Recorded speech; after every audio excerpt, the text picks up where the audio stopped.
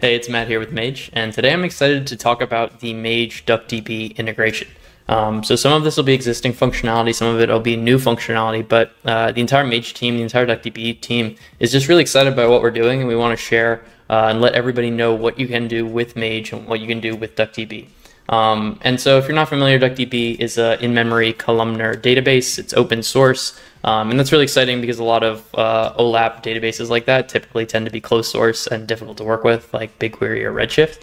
Um, but with this uh, database in Mage, there's some really cool stuff you can do. So uh, currently, you can read and write from DuckDB sources, um, and uh, that just means you can use R SQL or Python blocks to store and load data, um, and that makes it super easy. It's kind of like a one-click thing.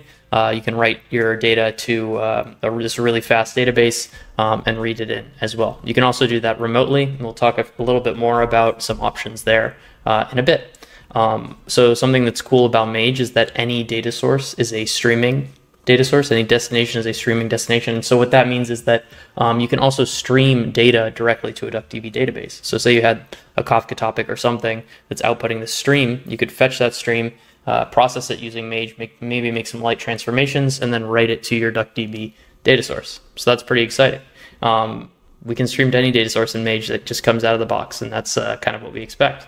Um, third, right, we've built in support for the DBT DuckDB library, and what that means is that you can orchestrate your DBT workflows on top of uh, a DuckDB database. And so Mage has full support for DBT within your data engineering pipe pipeline. So using Mage, you could implement a Python transformation, a SQL transformation, um, and then even a DBT model or a series of models um, inside of that same pipeline. So you get a complete lineage of your data transformation of what's going on um, with your workflow. And then um, you can orchestrate that on top of DuckDB, output it to a DuckDB database. And so that's really powerful. Um, and we want to share that with you.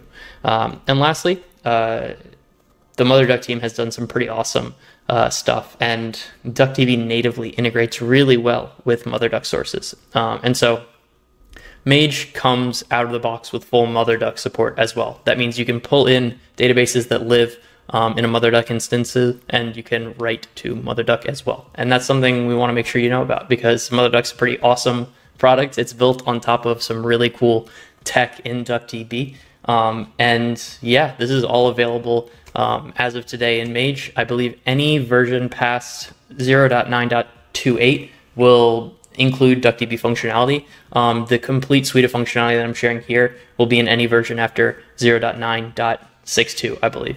Um, so I'm Matt with Mage, uh, and this is our new MotherDuck uh, DuckDB offering. You should give it a shot today. Uh, check out Mage, head over to our docs, drop in our Slack channel. We'd love to help you out. Until next time, peace.